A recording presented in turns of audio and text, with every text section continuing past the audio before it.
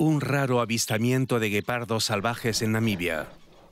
El país cuenta con la mayor población de guepardos en libertad de África.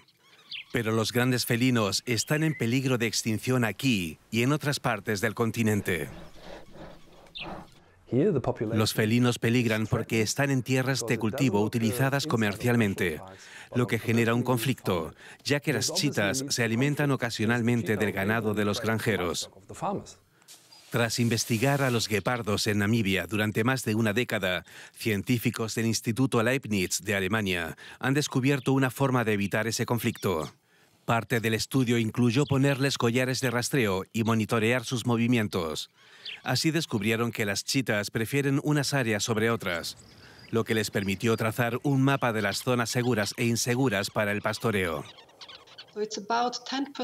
Cerca del 10% de las zonas es altamente peligroso, debido a que la concentración de guepardos es muy alta. El otro 90% es mucho menos arriesgado para los agricultores y para su ganado. Al mover su ganado fuera de la zona de peligro, las pérdidas de los granjeros son mucho menores. Se pueden adaptar a estas restricciones. Saben que esta es una zona de alto riesgo y pueden reubicar su ganado a otro lugar. Esto no cambiará. Y si los granjeros pierden menos reses, matarán menos guepardos. Un ejemplo de cómo los científicos que trabajan en colaboración con la población local ayudan a salvar al felino más amenazado de África.